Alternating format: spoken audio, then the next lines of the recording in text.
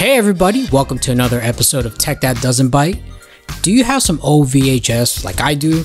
I actually have like boxes and boxes of these VHS.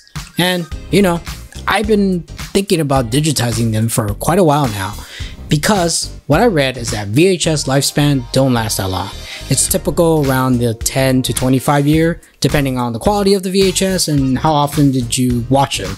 Because the more you watch them, the quality deteriorates. So having boxes and boxes of these VHS, I want to finally digitize them. But in order to do that, I needed some sort of a video capture device. And there were a bunch of them on Amazon. You could find them from ranging from $16 to even like $80 from what I've seen. But the one I went with is the DigitNow USB 2.0 video grabber. So what you get is composites, uh, the composite ports for your VHS player or even anything besides a VHS player. It could be an old camcorder or even a laser disc player if you have it. But all you need to do is just plug your device to one of these ports right here.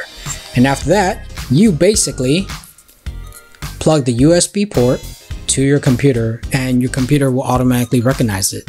Now the device supports um, Windows, Mac, and presumably with Linux as well. Basically any computer with the USB port, your operating system should be able to detect this. But it also includes a software as well. Now, I was not unfortunately able to test this because it looks like the software only works on Windows and I am currently using a Mac, so I don't know if the software used.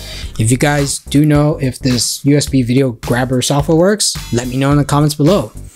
But overall, this device works as it's advertised. I was able to plug this in to my computer, launch a software that will help me record. In this case, I'm using OBS Studio to help me record my VHS. And you know, I've, there's no hiccup with this device. Um, I just plugged it in again and launched the software. Uh, I think the only downside I have is that I don't know if this is a communication between the device and the software. One software I did try to use is VLC, and unfortunately, for some reason, it captures, but I'm having a hard time recording anything from it. So that's the reason why I switched to OBS Studio. So, ladies and gentlemen, if you guys know how to, you know, troubleshoot using one of these devices with VLC, please let me know in the comments below.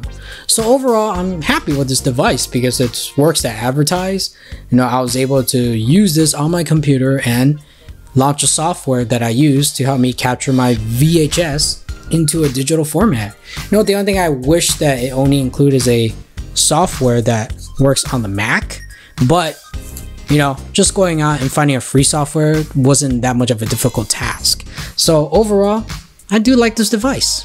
Hey everyone, make sure to like this video and subscribe to my channel and don't forget to hit that bell notification to get notified of new episodes. But don't go away because part 2 is coming up very soon. I'm going to show you how to actually use the device and using OBS to capture your VHS and digitize it. That video should be up pretty soon, but if not, check out these other videos right here.